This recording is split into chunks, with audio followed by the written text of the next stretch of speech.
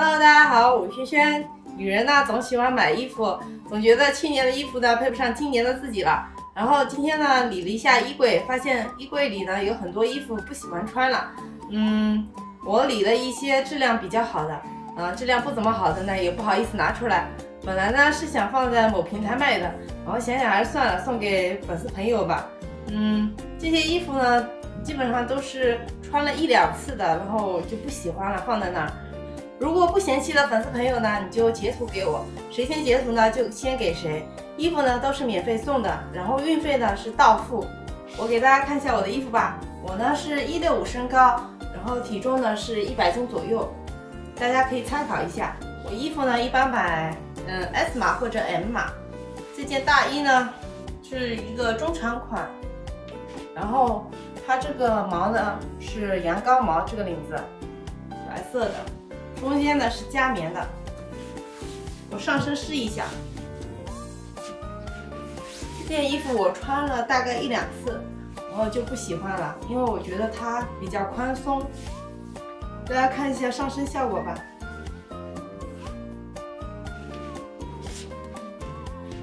有喜欢的粉丝朋友们吗？好了，我再去试一下另外一件。这个呢也是一件大衣。这件大衣要贵一点，颜色是这种颜色，是有点粉橘色，我就不上身试了，大家看一下效果吧。然后袖子是蓝色的，再给大家看一下其他的。这一件是一个连衣裙，这个呢是雪纺料的，中间呢是。兔毛，毛毛的，这个时候穿正好。里面也可以穿一些打底什么的，不然有点冷。配那个衣服，配个外套穿也挺好看的。这一件呢是个毛衣背心，这个也是中长款。你可以配一个腰带，这个是一个白色的，这个买来一次都没穿。因为我嫌它不好配衣服，就这样子，然后配个腰带就好看了。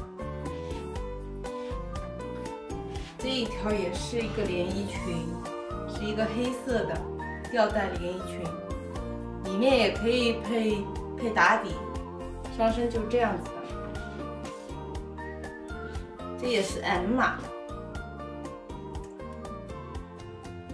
这一件这一件也没穿过。再给大家看一下一条裤子，这条裤子呢是，嗯，加厚的。这条裤子呢是 S 码，它是一个中筒裤，不是很长的，宽宽松松的，上身效果就是这样子的。好了，我的衣服展示完了，喜欢的朋友就截图给我吧。今天的视频就拍到这里，我们下次再见，拜拜。